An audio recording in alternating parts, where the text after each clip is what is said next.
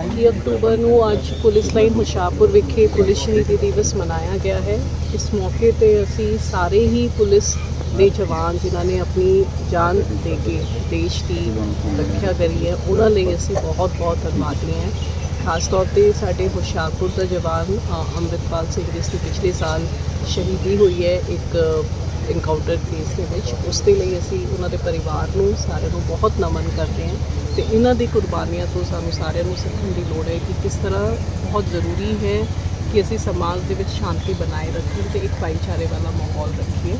ਮੈਂ ਇੱਕ ਵਾਰੀ ਫੇਰ ਇਹਨਾਂ ਦੇ ਸਾਰਿਆਂ ਦੇ ਹੀ ਪਰਿਵਾਰਾਂ ਦਾ ਸਾਰੇ ਹੀ ਸ਼ਹੀਦਾਂ ਦਾ ਬਹੁਤ ਬਹੁਤ ਧੰਨਵਾਦ ਕਰਦੀ ਹਾਂ ਤੇ ਸਾਰਿਆਂ ਨੂੰ ਨਮਨ ਕਰਦੀ ਹਾਂ। ਜੀ ਸਰ ਜੀ। ਦੇਸ਼ ਕੌਮ ਦੀ ਸੁਰੱਖਿਆ ਅਤੇ ਸ਼ਾਂਤੀ ਨੂੰ ਬਣਾਏ ਰੱਖਣ ਵਾਸਤੇ, ਆਮ ਜਨਤਾ ਦੀ ਸੁਰੱਖਿਆ ਵਾਸਤੇ ਜਿਨ੍ਹਾਂ ਮਹਾਨ ਸ਼ਹੀਦਾਂ ਨੇ ਆਪਣੀ ਜਾਨ ਡਿਊਟੀ ਉੱਤੇ ਕੁਰਬਾਨ, ਡਿਊਟੀ ਦੌਰਾਨ ਕੁਰਬਾਨ ਕੀਤੀ ਤੇ ਸੁਪਰੀਮ ਸੈਕਰੀਫਾਈਸ ਆਪਣਾ ਬਲੀਦਾਨ ਦਿੱਤਾ, ਉਹਨਾਂ ਨੂੰ ਅਸੀਂ ਅੱਜ ਦੇ ਸ਼ਹੀਦੀ ਦਿਹਾੜੇ ਨੂੰ 21 ਅਕਤੂਬਰ ਦੇ ਦਿਨ ਪ੍ਰਣਾਮ ਕਰਦੇ ਹਾਂ। ਉਹਨਾਂ ਨੂੰ ਅਸੀਂ ਇੱਕ ਸੈਰੀਮੋਨੀਅਲ ਡੇ ਹੈਗਾ 21 ਅਕਤੂਬਰ ਤੇ ਜਿਹਨੂੰ ਅਸੀਂ ਸਾਰੇ ਇਕੱਠੇ ਹੋ ਕੇ ਪ੍ਰਣਾਮ ਕਰਦੇ ਹਾਂ। ਅਦਰਵਾਈਜ਼ ਸ਼ਹੀਦਾਂ ਨੂੰ ਅਸੀਂ ਜਿਹੜਾ ਹੈਗਾ ਉਹਨਾਂ ਦਾ ਦੇਣਾ ਡੇਲੀ ਆਪਾਂ ਪ੍ਰਣਾਮ ਕਰਕੇ, ਉਹਨਾਂ ਦਾ ਕੰਟਰੀਬਿਊਟ ਕਰਕੇ ਕੰਟਰੀਬਿਊਸ਼ਨ ਜਿਹੜਾ ਹੈਗਾ ਉਹ ਭੁਲਾ ਨਹੀਂ ਸਕਦੇ।